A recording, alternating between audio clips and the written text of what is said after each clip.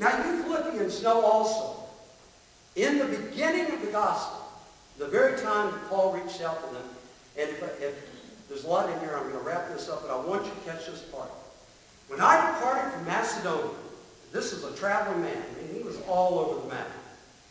He said, no church shared with me concerning giving and receiving. Say, and receiving. And receiving.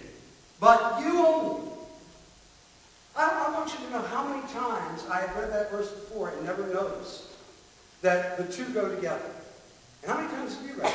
How many times have you heard messages about give, give, give? Well, I'm going to preach a message about give, give, give all the time. But along with give, give, give, I'm going to talk about receive, receive, receive. Because this was the message that Paul communicated to those Philippians. And he said, you were the only ones who, you were the only ones who asked me about giving and receiving. Not that giving was any more important than receiving. Because only what you receive can you give. You know, it takes, it takes people with substance and money to bless other people. You know, and that's, that's the way it is. It takes, it takes people with gifts and talents to use those talents for the kingdom of God.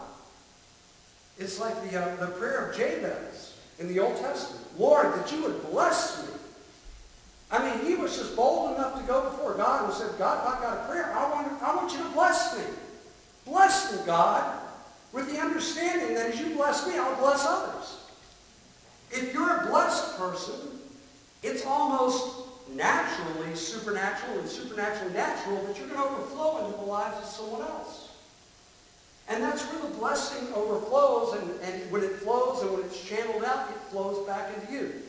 I had someone say to me, he said, well, that's no difference in karma. That's no different than karma.